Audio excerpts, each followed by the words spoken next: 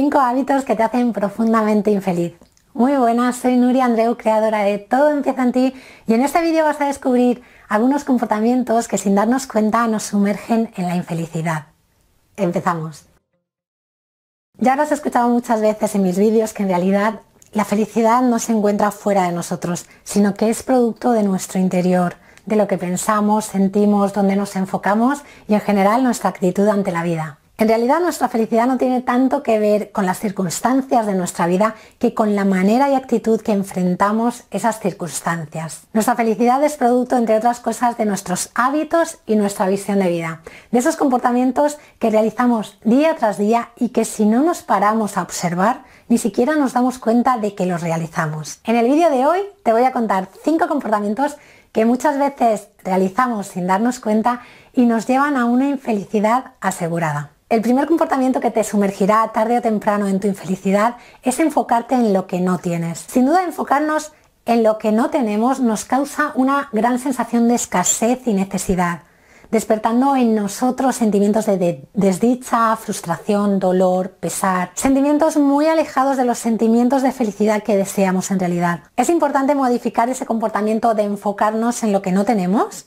y modificarlo para enfocarnos en lo que sí tenemos. Para ello, para empezar a enfocarte en lo que sí tienes, te invito a ver el vídeo sobre el poder de la gratitud, porque adquirir este hábito te ayudará a enfocarte en todo lo maravilloso que ya hay en tu vida, pero que simplemente no estás viendo, porque no te estás enfocando en él. Te dejo el enlace al vídeo de la gratitud en la caja de descripción de este vídeo. El segundo comportamiento que daña nuestra felicidad es victimizarnos. La vida está llena de obstáculos y momentos difíciles y unos momentos más difíciles que otros. En eso estamos todos de acuerdo. Pero en nuestra mano está decidir si hacemos frente y superamos esas situaciones y obstáculos o nos quedamos parados quejándonos día tras día del obstáculo que se ha presentado frente a nosotros. El problema de esto de quedarnos en la queja es que si lo hacemos cada día, sin darnos cuenta nos estamos convirtiendo en víctimas de nuestras vidas y estamos cediendo todo nuestro poder a esos obstáculos y situaciones. Terminamos creyéndonos que tenemos las manos atadas y que no podemos hacer nada para acercarnos a la vida que deseamos,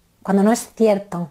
El poder de crear la vida que deseas lo tienes tú, sea cual sea el obstáculo que te presente la vida. El tercer comportamiento que destruye nuestra felicidad es vivir atrapado en el pasado o preocupado por el futuro. Esto de nuevo hace que cedamos todo el poder de crear la vida que deseamos a situaciones que no podemos cambiar o que es imposible predecir. Esto nos genera un malestar que lejos de aportarnos algo que nos acerca a la felicidad que buscamos, nos está sumergiendo en una gran infelicidad, porque de nuevo enfocarnos en situaciones que no podemos cambiar ni anticipar hace que perdamos todo nuestro poder de crear. Solo hay un momento real en nuestra vida en el que tenemos el poder de crear la vida que deseamos y ese momento es el momento presente, es el aquí y el ahora donde puedes modificar tus comportamientos, hábitos, decisiones y acciones para crear la vida que deseas. El cuarto comportamiento es buscar la aprobación de los demás. Si constantemente estamos buscando la aprobación de los demás, este hecho nos llevará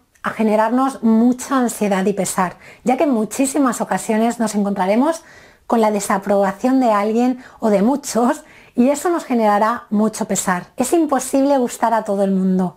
Este es un hecho que debemos aceptar si queremos alejarnos de la infelicidad. Y el quinto comportamiento que no te permite ser feliz es rodearte de personas que realizan los anteriores comportamientos. Dicen que somos el promedio de las cinco personas con las que pasamos más tiempo. Terminamos enfocándonos, pensando y creyendo del mismo modo que esas cinco personas con las que pasamos más tiempo en nuestras vidas por lo que procura que esas cinco personas con las que pasas más tiempo sean el tipo de personas a las que te quieres parecer. ¿Qué pasa si no tienes la oportunidad de rodearte físicamente de esas cinco personas a las que te quieres parecer? Bien, pues si no puedes hacerlo físicamente, hazlo virtualmente. Lee libros de personas que te inspiren, síguelos en redes sociales, mira sus vídeos. Lo importante es que tu mente se alimente de creencias y pensamientos que te acercan a la vida que deseas. Recuerda que somos fruto de nuestros pensamientos, creencias, decisiones y acciones. Si quieres ser feliz, decide poner fin a los hábitos que te sumergen en la infelicidad. Porque todo empieza en ti. Recuerda que todos los consejos que te traigo toda la semana requieren de tu compromiso y de tu práctica para llevarlos a cabo.